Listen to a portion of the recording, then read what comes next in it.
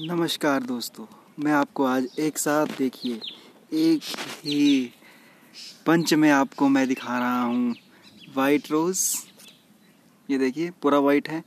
pink rose ये देखिए pink है एंड